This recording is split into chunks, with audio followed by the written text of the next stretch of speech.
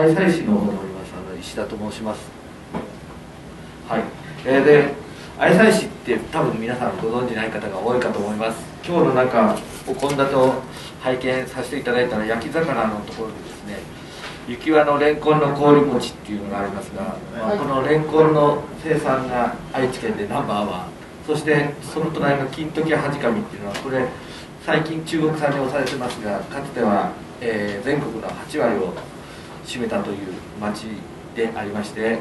まあそこが合併して、えー、聞こえない聞こえないですか？どうなってますかね？これあれはマスク取った方がいいかあ、取った方がいいですか？あ、あ、あ、あ、あ、あります？マイクの方がいい。こっちも、こっちも聞こえないですか？そっちの方がいい。こっちの方が聞こえますか？はい、では、こちらでお願いします。すいません。それで、一応マイク一回やってから。はい。マイクつけてから喋ってくるんです。あ、わかりました。はい、えー、えー例えばあのご紹介いただいた石田ですがあの私あの愛妻市の方へあ愛妻市の方から参りましたので愛妻市というのは、まあ、レンコンとか生姜の産地でありまして今日もあのお献立を見るとあのそういった名前もありますまあそういったところでまあちょっとあはじかみも久しぶりに名前聞いたなという感じなんですが、まあ、今日はあのよろしくお願いしたいと思います。先ほど北見さんの方からご紹介いただきました。大変あのハードルを上げていただいたのでこの後しゃべるかいなというのがありますがまああの、えー、コロナの危険を顧みずそしてもう無謀にもあの北見さんのプレッシャーにも負けず頑張りたいと思いますのでよろしくお願いしたいと思います。えー、今着座でよろしい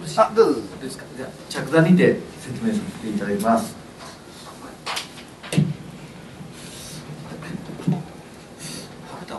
あのもうあのいいですよ。じゃああの今日のお話はですねえー、っと江戸時代の旅の話を今日はさせていただきたいと思いますまああの皆さんも旅行まあ今 GoTo トラベルなんて言って言いながらもあの行けなくなってしまったようなコロナの、えー、感染でですね。GoTo トラベルも思うようにいかないような時代になってしまいました。時期になってしまいましたがこの旅に出たいあるいは旅に出ようっていう気持ちっていうのはもう今も昔も変わらない話でありまして江戸時代の方も大勢の方が旅に立たれました、まあ、旅をされております。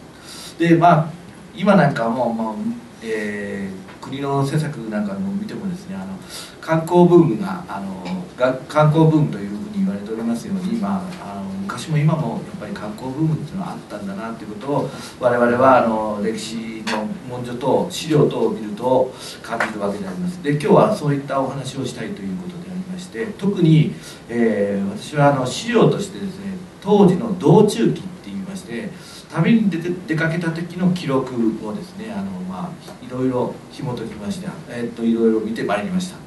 えー、特にあのこの地域を通る人たちの、えー、ルートっていうのはどうだったのかなっていうのをちょっと興味があったものですからそういったところを中心にあの見てきました。今日はまあそういったお話をさせていただきたいと思います、まあ、皆さんお歴々なのであの釈迦に説法的な部分もありますが、まあ、その辺はご容赦いただきたいと思います。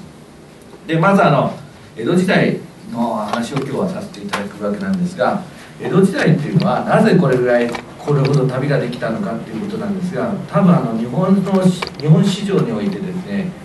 この平和な同一政権がずっと維持できたっていうのは多分この江戸時代が最高だと思います。300年という年代をまあえー、あ違う600もう200年ぐらいを250年をですね260年をですね同じ政権が担うなんてことは多分あの日本史上ではまれに見る出来事だったと思います。これをまあ我々日本史の研究者の方では徳川の平和って言いましてパクス徳川なんていう言葉で表現されますがこの安定政権があったっていうのはまずあの近世旅をさせる要因の大きな要因でした。その間に、えー、交通システムをですね整備してですね街道とかですね宿場を整備したりですね特にあの1601年の五街道の整備っていうのは人々が、えー、動くこと活動することを、まあ、可能にさせた大きな要因の一つだと思いますし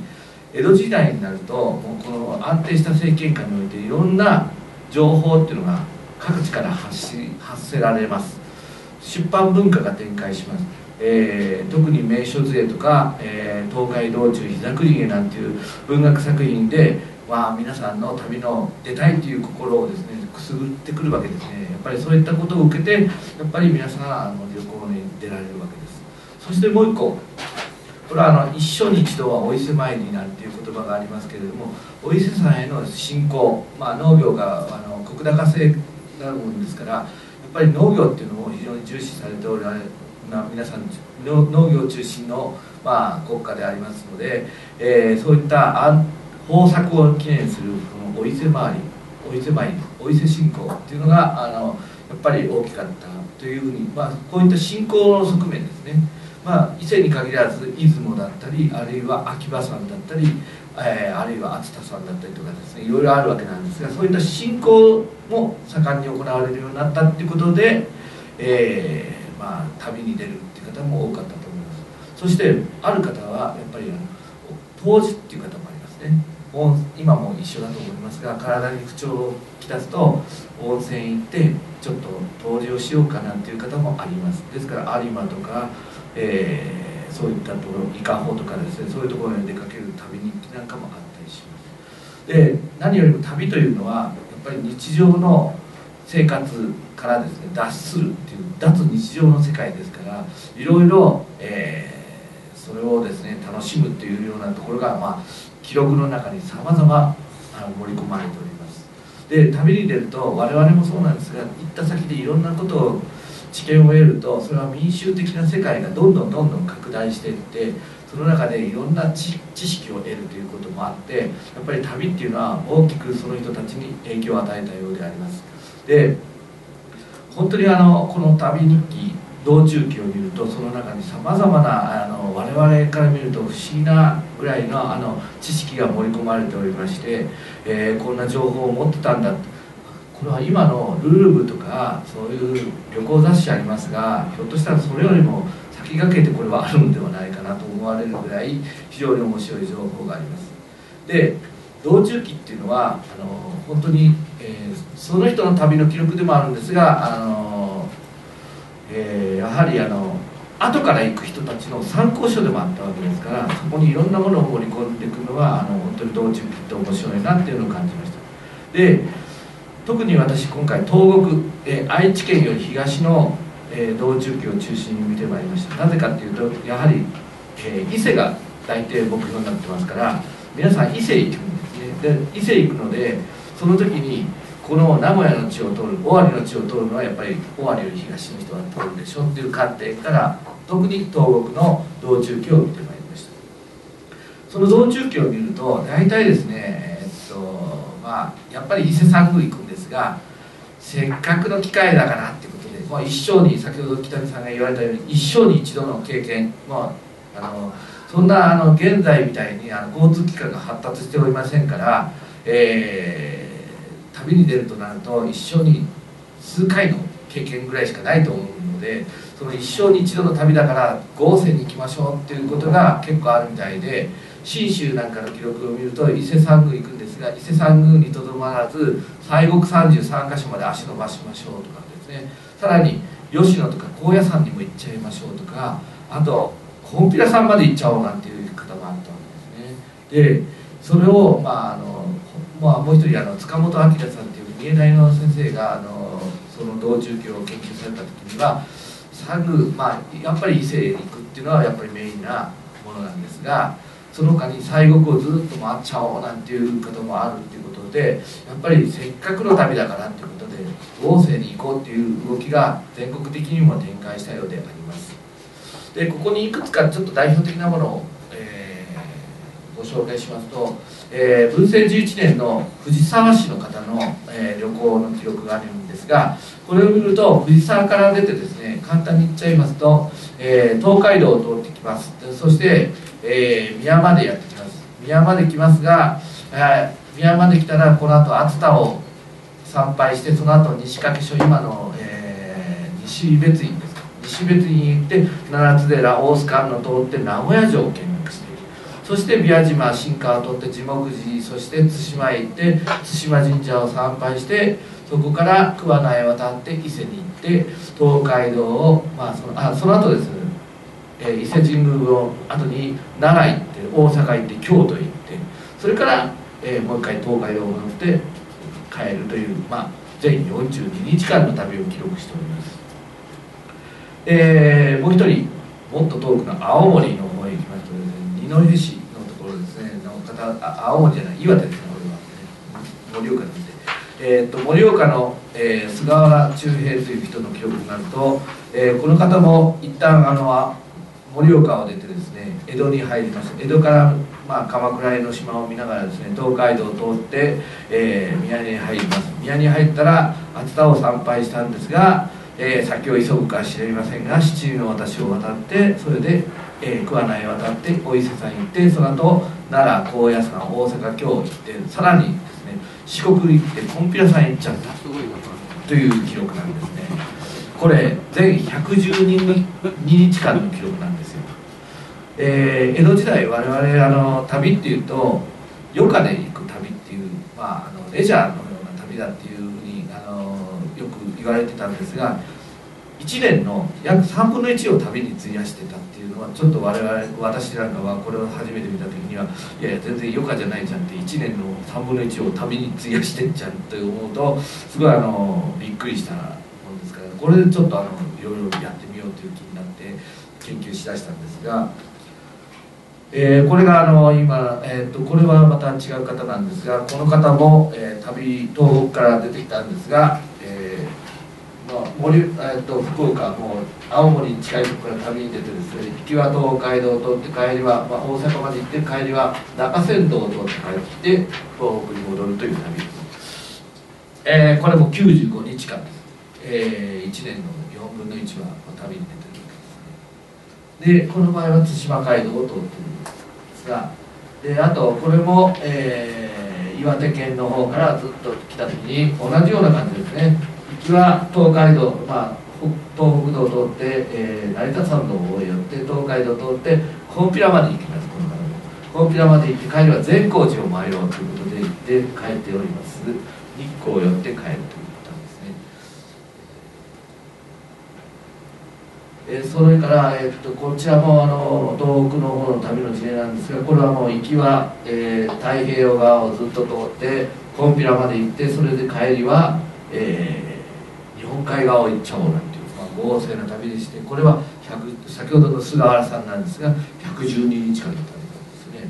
このようにあのとてもじゃないレジャーの旅じゃないですね。もうほとんど1年のほとんどを費やすというまあ3分の1を費やすという旅です。で関東の方も、えー、行きは、まあ、東海道を通っていくんですがこのこの方なんかもう四国の三もう四国巡りをやってその後帰ってきて、えー、天橋立まで見てそれで善光寺も見て、まあ、帰るという非常に贅沢な旅になります、えー、そしてこの方も、えー、千葉の方から旅に出るんですがこの方は行き逆にあの中山道の善光寺から入ってずっと回ってきて最後、えー、伊勢来てそれからまたコンピラさん行って帰ってくるというパターンです。非常にあの豪勢な旅です。えー、あともうこの方ももう非常にあの善光寺回ってそしてまあコンピラさんまで足を伸ばすやっぱりもうどうこういう方たち見てると本当にせっかく行くならもう贅沢に行きましょうと。一回出るならそのついでにもう全部回っちゃいましょうっていう方が多いですよね。で大体ですねパターンとしては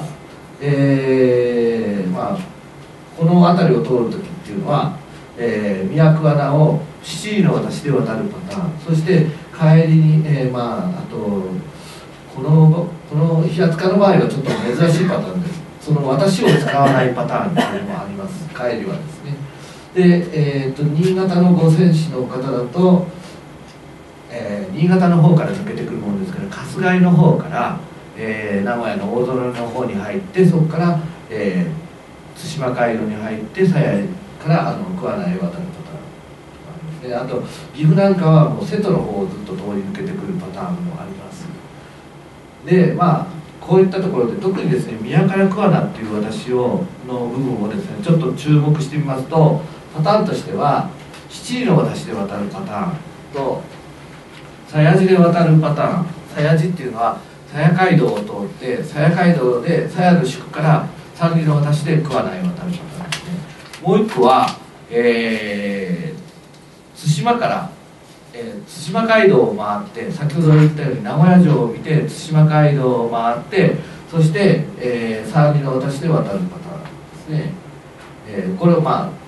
それぞれ七里の私ルート鞘師ルート対馬街道ルートっていうふうに、まあ、この場合ちょっと称してみたいと思うんですがそれとあと先ほど紹介したようにその他のルートなんですね、まあ、このパターンがこの辺りの桑名と宮をつなぐパターンのとしてはこういうことが考えられるということであります。で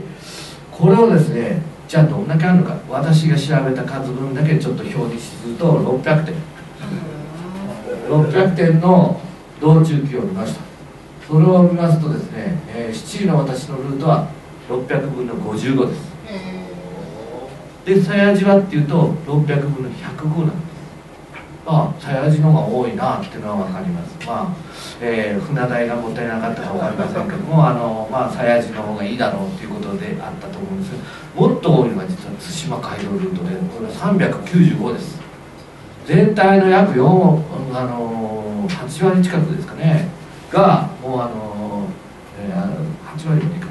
な6割ですね。6割強がですね、えー、対馬街道ルートということがこれによって分かるわけです。ですから皆さん旅に出られる時我々は東海道中膝栗毛とかを読んでるので東海道っていうと宮から七里の私が当たり前だというのが我々の通常旅の理解だと思うんですが実際旅に出かけた方を追いかけてみると実はそんな宮から七里の私を使う方なんていうのは少ない、うん、ほとんどの方が鞘地を使ったりもっと言うと対馬街道を使うんですね。対馬街道を経由して鞘から対馬鞘から三里を渡して桑名へ渡るルートが多かったということがこれはもうあの一目のあのデータから見ても一目瞭然でこれ今まであの我々だと旅っていうと東海道だから、まあ、名古屋を通過して名古屋飛ばしで、えー、行くなんていう、まあ、本当に不損だなと思ってましたけどもあの、えー、でも実際はですね皆さん名古屋を寄られてる方が多いっていうことがこれによってお分かりだと思うんですね、まあ、ここは、まあ、まず今日のお話の第一の講師なので、ね、こう、まあ、皆さんねあの多分いろんな文学作品とかと見るとあの道中記あの東海道中膝栗毛なんか見ても八重さん北さんも、えー、宮まで来たら鞘、えー、ルートをやめて、えー、鞘回りをやめて船で渡ってはとっとと食わないっちゃえなんていう感じなんですが実はもうほとんどの旅に出る方はこのように、えー、東の方は大体、えー、対馬経由ですかね。対馬鞘経由で行ってる方が多かった。ことがここでもお分かりいただけるでじゃあこの様子をですね実際に道中記をですね、まあ、見ながらですねお話ししたいと思います。特にですねあの私はなんで対馬街道を回るのかっていうのが非常に疑問に思ったものですから今回はだから対馬街道周りっていうのを、まあ、特にですね対馬街道ルートっていうのを中心にえー、ちょっとこのこの間の様子について、えー、その道中記に基づきながらですねお話ししてみたいと思うんですでその際にあの観光スポットという観点と、まあ、休憩宿泊施設っていうのとあと都線っていうものの3つの視点からちょっとお話ししてみたいと思います。でまず観光スポット、まあ、皆さんにお配りしたのにとちょっと若干様子が違います。というのもあの今日はあの話がまあこちらの名古屋城の方名古屋の研究をされてる方が多いということなので名古屋の部分をちょっと厚くしてまいりましたので、えー、それであの、えー、ご覧いただければと思うんですが観光スポットはやっぱり名古屋という街はどんな評価を受けてたのかなっていうことがまずあのここであると思うんですが、えー、千葉のあのし、まあ、あの館山の記録なんかを見ると鍋屋鍋屋貨幣さんの道中記を見ると東海道の三宿沼津府中美州っていうのが、まあ、東海道の三宿だそうですの中でいずれもよろしいんだけども美州が一番なんです。美州すなわち名古屋が一番だっていうんですね。であとあの桃町まあこれは仙台の方の記録なんですが、えー、この方だと尾張大納言様の64万石のお城下で、まあ、名古屋の町はですね五条川町である。町町数多く結構である。今日大阪よりもの出店も数々あるまあ、実際あの大丸屋とかですねそういうのも昔も出てましたので、えー、そういうところがありますよってことですね。でこれ、えっと、やっぱりあの東北の方の記録でありますが菅原源八さんの旅日記なんかを見ると城下の家づくりは名古屋っていうのは日本が第一番だということが書いてある。ですからまあね私も、えー、大学時代こちらを出て東京で大学時代過ごした時にちょうど私が大学の頃はタモリが名古屋バッシングをしてた頃だったもんですから 大いなる田舎名古屋なんてことを散々言われてたんですが何を言ってるかと今更ながら思うわけでありますけどね。あとまあ宗春が前にいたという柳川っていうところがありますが福島の柳川の柳川調子に乗ってる道中記なんか見ると名古屋っていうのは大所大正であるというところで5番割に五座総来っていうまあ確かにこの、えー、スタンさんのあるこの町あたりは5番町の5番街5番の町割の中です、で5番割に五座総来で宮より町続きに総来ども五条下の境に木戸があるという話なんです。ちょっと見づらいんですがこれあの、えー、ちょうど普段の辻っていうところなんですねちょうどここにあるのがあの十一夜って言って丸栄の前身の宿あの東北店があるわけなんですがこの角のところに、まあ、ちょっと見づらいんですが、えー、町のまあそもそも町と町の間には、まあ、おかしいですね。こういったあの、えー、木戸というのがあってこれはまあ町の安全をか、まあ、守るためのものでもありましたけどもこういったものがあったその様子がですねこういった柳川城市の中にも、えー、木戸があったっていうような記述があったりしますので、まあ、そういったところを、まあ、ちゃんとあの記録してるんだなっていうことをすごい思いました。で郡山の,、まあ、あのある家の資料なんですがこの方は、えー、名古屋を訪れた時に名古屋をにぎわいの地であるというふうに書いてあるんですね。ここのところでにぎわいの地であると。まあ、ちょっと一時読めなかったんですが大体町屋は5万件ほどあった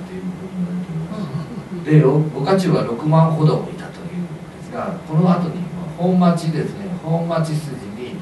まあ、字が違いますが伊東です伊東呉服店松坂屋ですね伊東にて大棚ありまた大丸や十一屋いずれも大棚ないなんてねちゃんとあの、えー、名古屋の宣伝ちゃんとやっておってくれるんです。よね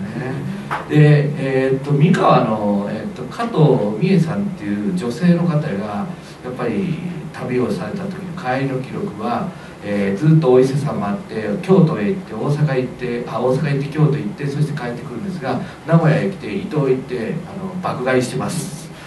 もう呉服刀を買ってですね買い込んでですね三河まで帰りますということで。まあ、なんか今とあんまり旅変わんないですねっていう感じがするんですが、まあ、あのそういった記録もありますので、まあ、当時の江戸時代の旅の記録って面白いなってことでまあ今日名古屋城なのであえて名古屋城を観光スポット2として挙げました、えー、でこれを見るとですねあのお城を左に行って金のシャチホコを並びに新御殿だから名古屋の御殿見れたんです。見物できた。だから我々は名古屋城って領主の建物だから入れないようなイメージがあると思うんですが実は江戸時代入れちゃうということが分かってでこのお城通りより右のお城の城門に入っちゃうわけです。で金の社長をこうそばで見るなんてこと書いてあるんですね。これ埼玉の CC の記録です。だから城の中に入れたんですお城の中にで石垣、えー、っとこれはあの東北の方の記録なんですが石垣堀回りお城のうち金のシャチ見る日本一ということですね。御門の方へ行き御門の方へ行ってはいけない行き申すマジックソウル御門の半ばへ行った場合は二度と国へは帰れないぞという 脅し文句。なんでかなと思ったらちゃんとこの平賀町って秋田県の人の記録にあるんです。三の丸より中によそ者は入っちゃいけないってことが書いてあるんですね。よそ者入っちゃいけないんですよ。で実際に佐島っていう、まあ、茨城の方の記録でいうと旅人はお城へ入ることはかなわざるね下回るっていうことで要するに開かれてはいるんですね。見えるんですけど旅人たちはよそ者は入っちゃいけないっていうのが名古屋城のルールとしてあったみたいです。じゃあどうするかっていうとですねえー、これはや八幡町っていうんですかねあの山形県のシャチフグ、まあ、これはシャシャチシャチホコです、まあ、皆さんあの耳で聞いてるもんですから正しく表記はしてないことがいっぱいあります。で竹は6尺で門の高さは6尺あるってここなんですが袖を下げ草履を入って統治の風にして御門のうちに入れば何の咎めもない。要するに現地人のふりをして入ればええんだということです旅人も現地人のふりして入れば咎めはありません。ただ旅消毒に入るとダメだってことがちゃんと書いてあるんですね。だから東北の人たちこっち来る時に名古屋城に入りたいためにこういう情報をちゃんと入れとくわけですわそうすると次の来る方は旅の格好せずにそのまま入れちゃうってことがこれで分かるんですね。しかも、えー、当時の記録で面白かった僕が個人的に面白かったのは名古屋城を記憶するんですがその時に先達で24問にで頼み、えー、お城結構なりっていう記録があります。要するにガイドがいたんですね。名古屋城のガイドこの頃もういたんですなので24問頼めば行ってくれるわけあの案内してくれるってことが分かります他にもあの、えっと、福島の記録なんだけどもご城内拝見しいたし候のつもりでで60問にて案内頼み候です。ここにもガイドがいるってことがこれによっては分かるわけですから。まああの今はねいろんなところでガイドボランティアとかってあるんですが当時からもこのように名古屋城は見どころですから全国の方が日本一だとか金のシャチ見たいとか言っていうことを言ってやってくるわけです。で入りたいけどよそ者入れない。じゃあ入るためにどうしたらいいかって言ったら現地人の風にして入ればいいということであるありますからそれで入りましょうってことがある。で、まあ、ちょっとここには書かなかったんですけど中にはあのいろいろ花見とかなんか一般人の方がやってたりあの出店が出てたという記憶もあったりするのでかなり名古屋城は観光スポットとして多かったということが言えると思います。まあ、で名古屋城を出ると宮島に渡ってしまうのでそれから先は、樹木寺の方に行くわけです。大体樹木寺も結構皆さん見られる場所で。樹木寺で実は僕はあの海地域にいるものですからそこであのいろいろな海地域の研究もやってますので樹木寺のことも多少なりとも知ってるつもりでいたんですが福島県に行ったら、えー、こんな資料って、えー、樹木寺はですこの観世音は樹木寺観音さんは日本七仏のうちであるということが書いてあるんですね。で樹木寺観音の今の住職に聞いた時に日本七仏のうちだっていう話って樹木寺にありますか言ったらわし知らんっていう。だから地元の人も知らない情報が福島県には伝わってるわけですよ。じゃあ日本七仏って何よって言ったらちゃんと書いてってくれる？あごめんなさい。えー、で日本七仏って何って言ったらあの長谷寺大和の長谷寺とかですね。石山寺とか清水寺と並んで樹木寺が日本七仏の一つだってなのでもう樹木寺のあの岡部さん住職さんに言いました。これで売ったらどうですか？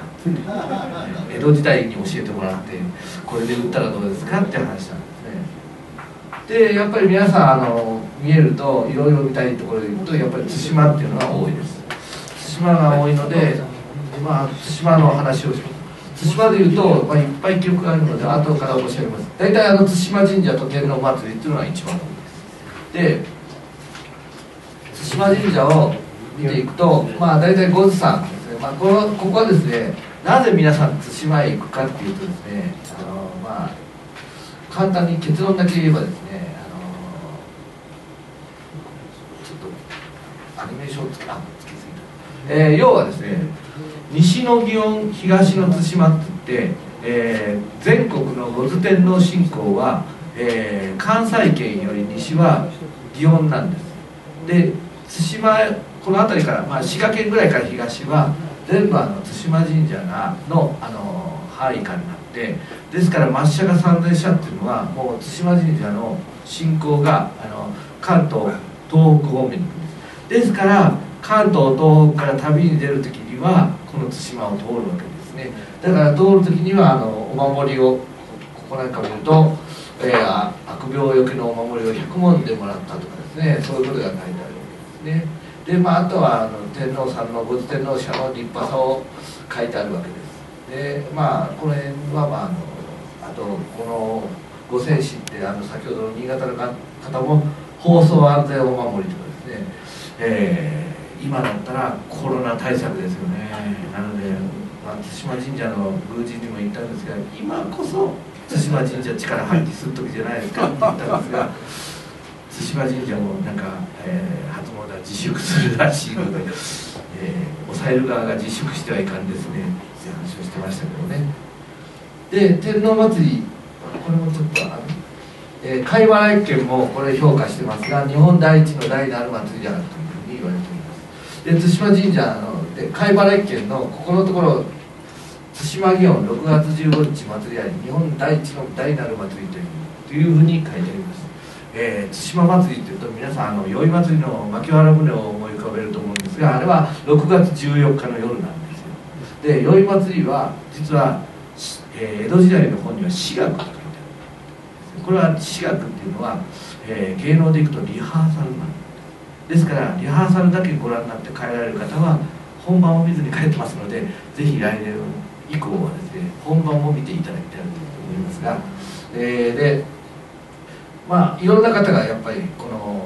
訪れます。で、えー、特に、えーと、前沢町は東北の方なんかは、えー、ちゃんと5つ半自分より屋台船が11出ますっていうことがあの書いてある、まあ、朝祭りの時ですね11出るってことがちゃんと描かれております。そのように、えーと、夜宵祭りはちゃんと船が5つ出てっていう、まあ、誠にいいことを筆に尽くし渡しなんていうふうに書いてあって、えー、祭りの凄さをちゃんと表現しておられます。で、えー、あとはまあこの海上町の方もお祭りは日本一だというふうに言われておりますのでやはり皆さんあの対馬へ来るとやっぱりこれに合わせてくるのか、まあ、大体この時期に来る方が多かった。いうふうにでそうすると6月ですよねそうすると昔の旅っていうと大体農閑期とか農業が暇になった時に出るっていうか発想が多いんですがこの6月に訪れるってことは結構ねあのやっぱり先ほどの110日旅に出るのと一緒でやっぱり旅に出る時は相当な意識でもってやっぱり楽しむぞという心持ちでもって旅に出たというふうに考えた方がいいのかなということを思います。で、えー、これはあの対馬で泊まった時の記録なんですが大体泊まるパターンっていうのは推しの家ですね。推しの家で泊まるパターンがあります。それとですね旅籠でちゃんとこのように泊まるところがあります。でそその他にもですねちょっと赤で見づらいんですがここに何が書いてあるかって言ったら町屋とかですね百姓屋って書いてあるんですこれはどういうことかっていうと今で言うと民泊ですね。すでにその通りやってたってことが、まあ、これでお分かりいただけるということですね。でこちら鞘ですが鞘の宿で、まあ、非常にあの私は愛妻でいうとこれ鞘は愛妻師なので非常にこれは語りづらいというんですがまあいろいろ書いてありますが藤沢の記録を見ると鞘で泊まったんですが増谷陣八さんの宿は非常に悪いと。こういう情報情報もね盛り込まれるんですでこのところ船頭至って人気悪し。SNS みたいなねえ愛妻師としてはあんまりこれは喋りたくない。まあ書いてあることです。かと思うと同じ藤沢の記録なんですがさやの恵比寿屋さんっていうところとまったらこのうちうちも広くきれいで食べ物もよろしく東海道にもない少ない宿だっていうふうにいい宿もあるっていう。これもちょっと言っとかなきゃいけないそういうことでこの赤い部分がちょうどこれがあの宿屋の部分なんです街道が鞘地がこう街道がありましてここから船で渡るんですがここが大観所なんですがここがちょうど宿屋これだけ並んでたということですね。というのがまずで、えー、あそうそうさっきのすみません。さっきのあの恵比寿屋さんのところで恵比寿屋さんの当主はですね将棋の名人だったらしい、まあ、今だったらねあの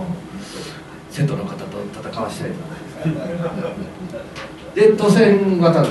この都線がさっきの人気悪いってことに書いてあったんですけど本当に評判悪いんですよこれ。ねで3人の私で対馬桑名鞘桑名、まあ、実はですね都線はですね対馬と鞘がまああの仲が悪くって、えー、客の取り合いで非常に揉めましてで一月に30日があるうちの上15日は対馬から渡ります。下15日は鞘から渡りますっていうのを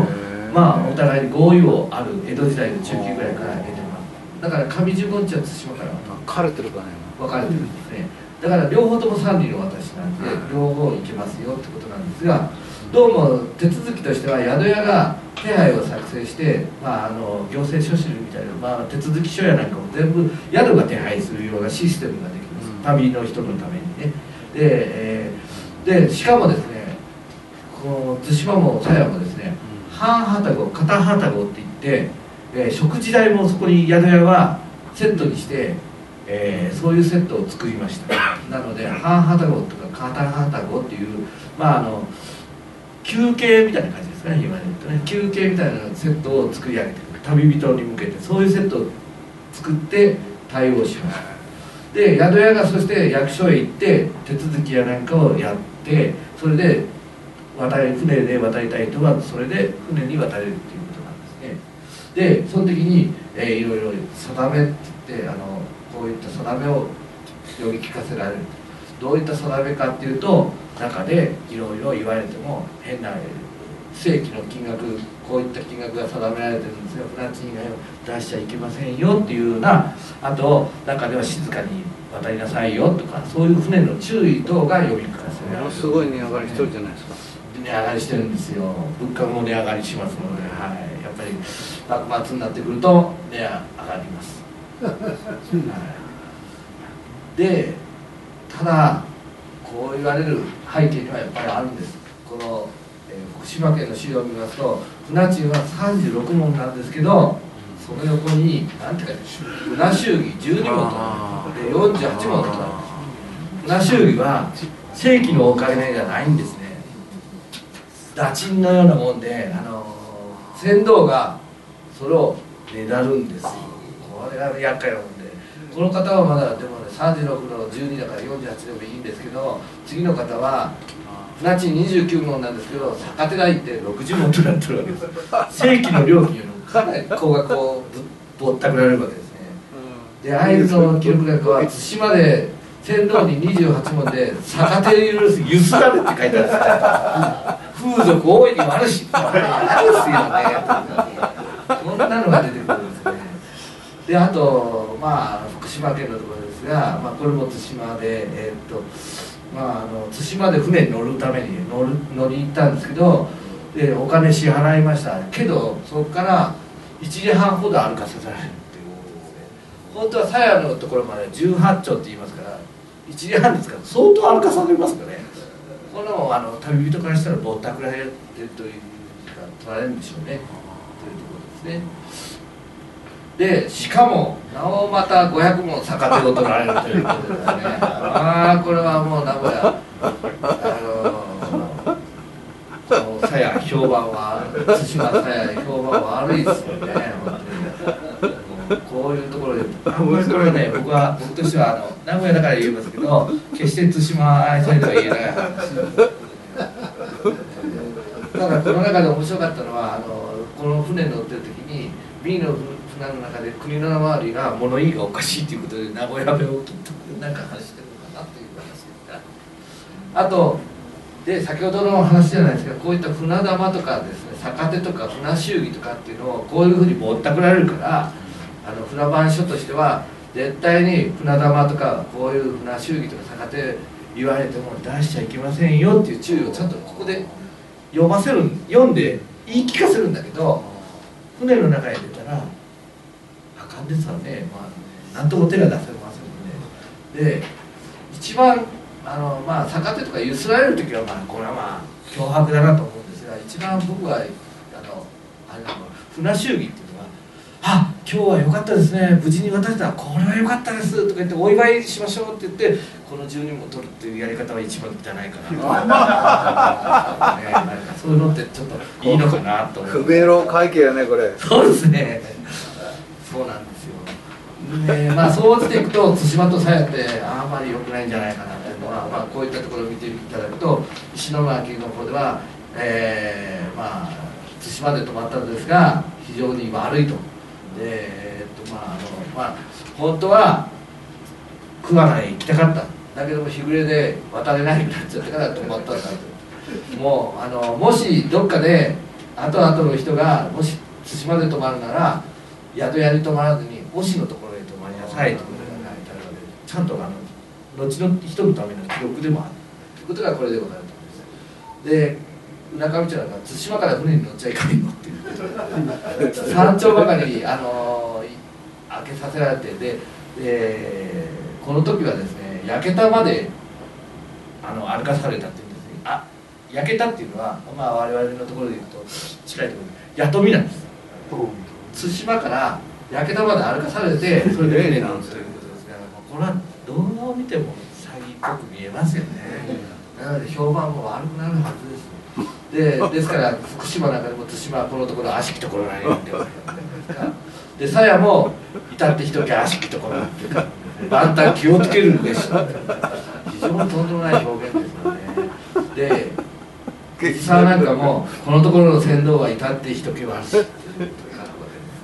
まあ、要するに、まあ、このようにあんまりさやっていうのはさやとしますが決して評判いいもんじゃなかったなっていうところが非常に悲しい話ですがまあるということでありまして、まあ、ただこのようにですね記録としてはまあいいか悪いかは別にしろですねやっぱり市官その情報っていうのを残してくれてるおかげでその当時の実態っていうのは逆に言うところで言うと判明したなってことであります。で実は最初のあのルートの話に戻ると鞘回りっていうよく言いますが鞘回りっていうと我々は、えー、和教館である鞘寺を経由するというのが通常思い浮かべますが実際の実態はっていうと鞘回りなんですが対馬街道を経由した鞘回りっていうのが多かったっていうのが非常にあのお分かりいただけるのではないかなということなんです。でなんで対馬こんなに評判悪いのに対馬街道通るんだっていう次にがやっぱり対馬街道っていうのは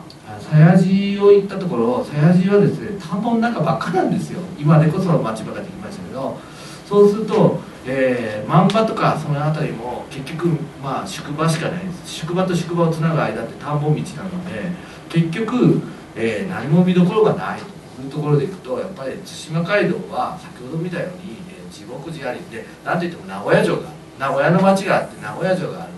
っていうとそして対馬神社があるとなるとやっぱりそれは見どころ満載です。だからやっぱり行ったんだろうと思います。であと、えー、やっぱり天皇信仰の展開っていうのがやっぱり多い多いと思います。では対馬参らばあ伊勢に参らば対馬をかけよう。対馬参らには肩参りっていう話もあるようにですねこのように天皇信仰の展開っていうのも大きくこれを裏付けたところかなと思います。でただ最後にちょっと対馬と愛妻のフォローだけしておきますと不評なのはこれはある意味でやむを得ないところもあってですね。実はあのやっぱり競争していこうと思うと地元側からすると生き残るためにはやっぱりなんかそうやって金を稼ぐ方法っていうのをやっぱり稼がなきゃいけないのかなと。特にあの船頭とかは日雇い層ですからあの、ま、やっぱりどうやって金を得るかっていう、まあ、ある意味努力のようなものを通しても見ることができるし本来ですとどっちかの港に統一すればいいんだけどもどうしても月の半分しか稼げであるからやっぱりそれなりに努力するんだろうなというのもありますしあと3輪ばかり歩かされるなっていう話もありますが実はですねここの川は天皇川から南の鞘川と呼ばれる川があるんですがその鞘川は砂が堆積してそれであの明治になって鞘川を排水して木曽山線を分流したという歴史を持っています。ですからその地域の歴史を知ってる方からいくと船はね通れないんです。だから干潮になると今でもですが昔のあの100年前の堤防が下から上がってきます。それぐらいのところですからやっぱりあの水深が水の深さが浅いんですよ。だから船がね渡れないんですよ。だからこういうふうにせざるを得なかったっていうのが唯一のフォローなんですけどそういうことがあるんですね。っていうことです。でもまああの観光江戸時代の観光の話を、まあ、ちょっとまあ道中記を通して見ていただきましたが今とあんまり変わらないですよね。せっかくの旅だからっていうことでやっぱりいろいろ欲張って、えー、あれもこれも一つでもちょっと多く見ようっていう気持ちは昔も今も変わらないのかなっていうことを、まあ、私はこの、えー、いろいろ小中期を調べてすごい感じたところであります、まあ、皆様どのように感じられたかっていうことですがまああの歴史を研究しているとこういったようにいろんなことが分かってきます。のでまたねあの皆さんにもいろいろご教示いただいてまたこういう資料があるよっていうようなお話があればまたお教えいただいてですね私もさらに、えー、この研究をですね深めてまいりたいと思います。すいませんあの、まあ、お食事前にダメでもま誠に申し訳ありませんが私の話は以上で終わりたいと思います。どうもご清聴ありがとうございました。